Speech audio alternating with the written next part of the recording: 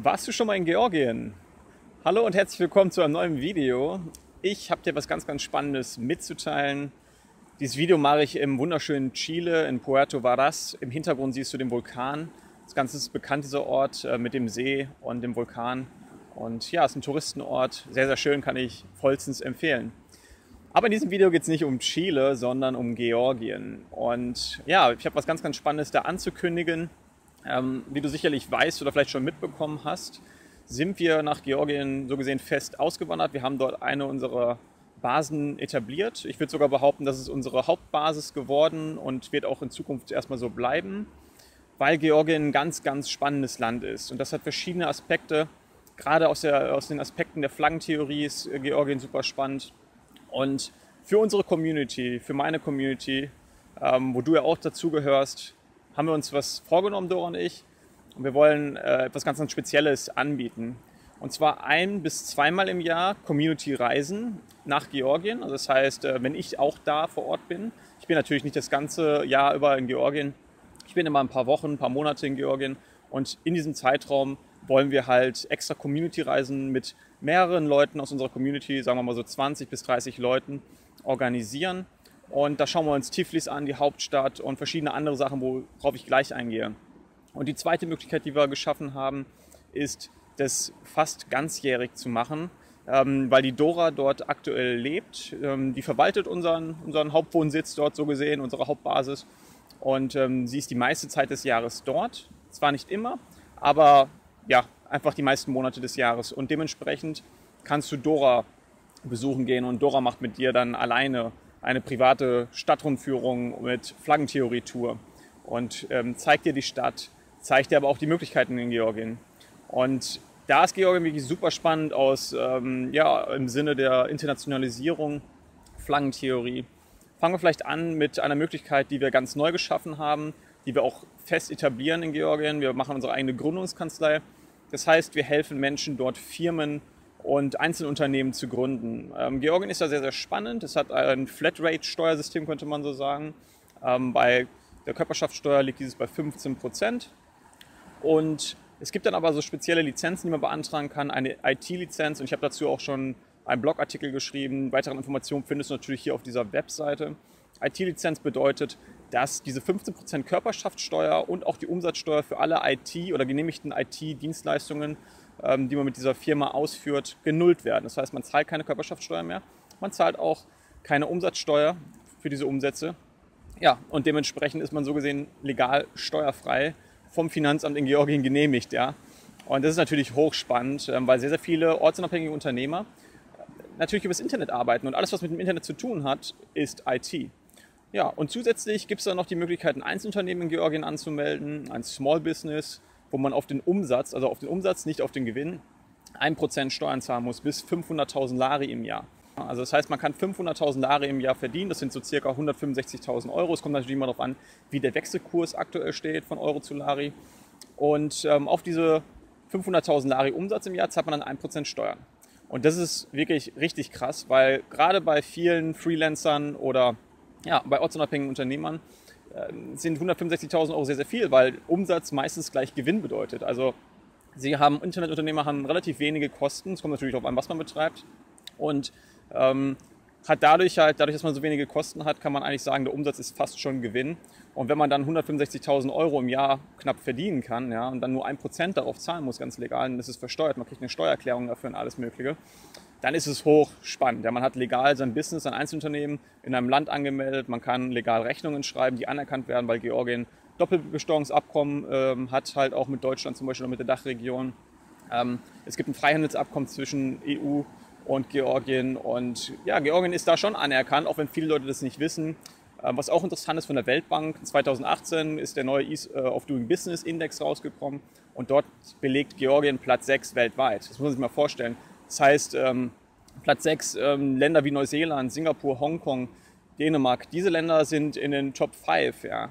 Und ähm, Georgien kommt auf Platz 6 weltweit und ähm, misst sich so gesehen mit diesen Ländern. Und das ist eine Sache, die sehr viele Leute nicht wissen. Auch wenn man sich den Numbeo Crime Index anschaut, ist Georgien das sechstsicherste Land der Welt. Und das ist wirklich, das ist richtig krass. Und viele Menschen wissen das nicht. Viele Leute unterschätzen Georgien komplett. Wir haben Ähm, ja, wir haben schon viele äh, Unternehmer in Georgien selbst getroffen und die dort auch Unternehmen haben, die auch in die Dachregion Rechnungen stellen, die sagen, wir haben nie Probleme mit deutschen Finanzamt oder sowas gehabt, die, können, die Rechnungen werden immer anerkannt und so weiter und so fort. Also Georgien ist schon eine Jurisdiktion, die viele Leute nicht auf dem Schirm haben und auch unterschätzen, meiner Meinung nach. Klar, es ist nicht alles Gold, was glänzt und äh, es gibt auch Probleme in Georgien, so wie in jedem Land. Ähm, aber generell kann gesagt werden, es ist ein sehr, sehr spannendes Land und über uns, wir können halt dir helfen, dort deine Firma zu registrieren, dein Einzelunternehmen, IT-Lizenz zu beantragen und so weiter und so fort. Also da gibt es natürlich verschiedenste Möglichkeiten. Und wenn wir jetzt so eine Community-Reise machen oder du bei Dora so eine Flaggentheorie-Tour boost, ähm, dann ist natürlich die Möglichkeit da, dich direkt mit unseren Partnern zu treffen. Wenn wir die Community-Reise machen, organisieren wir natürlich auch ein Treffen mit unserer deutschen Buchhalterin, beziehungsweise ist eine Georgierin, die Deutsch spricht. Die hat in ähm, Deutschland damals sehr lange für ein deutsches Unternehmen gearbeitet in der Buchhaltung. Das heißt, sie hat die deutsche Gründlichkeit in der Buchhaltung gelernt. Sie kennt sich perfekt aus in Georgien mit den Steuergesetzen und sie macht halt für uns alles. Und ähm, ja, wenn wir so ein Community-Treffen haben oder auch die Flaggentheorie-Tour, wenn du alles einzeln machst, dann hast du die Möglichkeit, dich direkt mit dieser Frau zu treffen und äh, alle Fragen zu stellen und dann halt auch direkt über uns letztendlich ein Unternehmen zu gründen. Ja? Und dann natürlich in Zukunft auch ähm, ja, dann die Buchhaltung über sie laufen zu lassen, dass du da jemanden ordentliches äh, direkt hast. Weil das Problem in Georgien ist nämlich, dass das System zwar sehr, sehr effizient ist und es sehr einfach ist, so gesehen ein Unternehmen zu gründen, wenn man gewisse Kriterien beachtet. Äh, allerdings, wenn man die Sprache nicht kann und wenn man keine Kontakte in hat, ist es trotzdem noch ein bisschen schwierig. Man muss schon genau wissen, wie es funktioniert. Man braucht auch eine Adresse zum Beispiel im Land, um ein Unternehmen zu registrieren. Und wenn alles auf Georgisch ist und die georgischen Schriftzeichen aussehen wie in Thailand, ja, die Schriftzeichen, dann ist es sehr, sehr schwierig, da überhaupt irgendwie in Kommunikation zu treten mit den Registerbehörden und alles Mögliche und die Lizenzen zu beantragen und so weiter und so fort. Und deswegen macht es halt Sinn, auf jeden Fall das über eine Agentur zu machen, beziehungsweise über unsere Hilfe, ähm, wo man direkt einen Dolmetscher dabei hat, dass man das halt direkt von Anfang an ordentlich aufsetzt. Ja, genau. Das ist mal Punkt 1, Unternehmen in Georgien. Und Punkt 2 sind die Bankkonten in Georgien. Geschäftskonten für ähm, lokale Unternehmen, also für LLCs, die man natürlich vor Ort registriert, kriegen ganz einfach auch Geschäftskonten. Ausländische Unternehmen kriegen keine Geschäftskonten in Georgien, das kann man äh, vergessen mittlerweile. Da hat die Nationalbank in Georgien einen Riegel vorgeschoben. Aber Privatkonten sind noch sehr, sehr einfach zu öffnen. Das heißt, wenn wir so eine Community-Reise machen, hast du nicht nur die Möglichkeit, dort Unternehmen zu gründen für dich oder ein Einzelunternehmen, sondern auch direkt Bankkonten zu öffnen. Und wir haben da aktuell zwei Banken. Es gibt zwei große Banken, die TBC Bank und die Bank of Georgia und die haben einen Ableger, die Solo Bank, das ist das Private Banking von denen. Und dort hast du die Möglichkeit, direkt bei beiden ein Konto zu öffnen. Ja. Und Georgien ist halt außerhalb der EU. Es ist zwar ein assoziierter Staat, es hat sehr, sehr viele Abkommen mit der EU und wird dadurch auch anerkannt und hat viele Möglichkeiten. Aber es ist jetzt nicht direkt ein EU-Staat. Das heißt, äh, die Gesetze der EU finden keine Anwendung dort. Das heißt, ähm, Georgien kann noch in gewisser Art und Weise machen, was es möchte, ohne dass es auf Brüssel hören muss. Und das macht es spannend und Georgien weiß es auch und äh, wendet das auch an. Es gibt zum Beispiel aktuell, die haben zwar schon den Daten, also das CS-Abkommen, ähm, Common Reporting Standard, der automatische Informationsaustausch, der jährlich stattfindet, haben die zwar schon unterschrieben, aber es wird noch nicht angewendet in Georgien. Ja?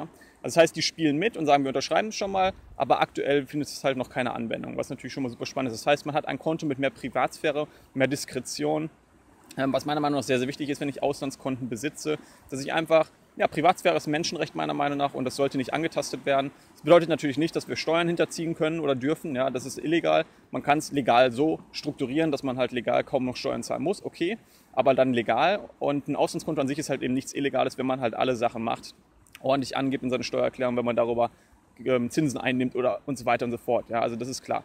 Ähm, aber es ist für mich meiner Meinung nach wichtig, dass man halt ein Konto hat mit mehr Privatsphäre. Ja? Und die meisten Nationen, die damals dafür bekannt waren, wie zum Beispiel die Schweiz oder sowas, ähm, die sind schon lange nicht mehr, ähm, haben schon lange nicht mehr diese Privatsphäre, ja, auch Singapur nicht. Und äh, hier hat halt Georgien noch einen ganz klaren Vorteil. Man kann sehr, sehr einfach sein Konto öffnen, einfach mit einem Reisepass. Du kommst dann, wir gehen zusammen, äh, die Dora hat da Pamphlets vorbereitet, also ganze, ähm, du kriegst unsere Georgien-Ausgabe von Global Citizen Explorer, wenn du dabei bist bei einer unserer Reisen. Ähm, du kriegst zusätzlich, haben wir ein extra Banken-Insider-Buch geschrieben, so ein kleines E-Book, das wird alles ausgedruckt, das kriegst du dann als, ähm, ja, on top obendrauf, ja. Und äh, da sind sehr, sehr viele Insider-Informationen auch nochmal drin und ähm, bist genau vorbereitet, wir reden darüber und dann gehen wir alle zusammen zur Bank und können halt, jeder für sich kann dann halt sein Konto eröffnen, ja. Und wenn er möchte, dann auch direkt bei zwei Banken. Was auch noch ziemlich cool ist in Georgien, du hast die Möglichkeit, dort sehr, sehr gute Kreditkarten zu bekommen. Ich, ich habe eine Visa Platinum-Karte und die zu bekommen in europäischen Staaten ist sehr, sehr schwierig. Man muss sehr hohe Einzahlungen tätigen, um so eine Platinum-Karte zu erhalten. Und ähm, da ist auch ein äh, Priority Pass bei. Das heißt, ich kann halt auch in Launches, habe Launchzugang, muss dafür natürlich zahlen für jeden Eintritt. Aber ich habe die Möglichkeit, auch in Launches am Flughäfen dadurch zu kommen. Und das kostet mich im Jahr so circa 60, zwischen 60 und 70 Euro, diese Kontoführungsgebühren. Dafür habe ich eine hoch anerkannte Debitkarte, ja, Visa ähm, Platinum. Und das ist, ja, das in anderen Ländern zu kriegen, ist äh, nicht so einfach. Ja. Das heißt, man kann vielleicht ähm, Auslandskonten haben, aber das, die, die Karten sind einfach schlecht. Ja. Und das habe ich in Georgien eben nicht. Und das ist halt ein, wirklich ein weiterer Vorteil. Also es ist sehr, sehr einfach dort, einfach nur mit Reisepass ohne Wohnsitznachweis ein Konto zu öffnen, immer noch. Man weiß natürlich nicht, wie lange das noch der Fall sein wird. Ja, es kann sein, dass es in zwei, drei Jahren oder im nächsten Jahr schon komplett anders sein wird und es nicht mehr möglich ist. Ja. Aber aktuell ist es halt noch möglich. Man hat Diskretion, dadurch, dass der Informationsaustausch noch nicht angewendet wird. Man hat sehr, sehr gute Karten, äh, also Karten, um das Konto halt auch im Ausland verwenden zu können. Da haben wir auch noch verschiedene Tricks, um ähm, Rechnungskurse oder Umwechselgebühren zu sparen.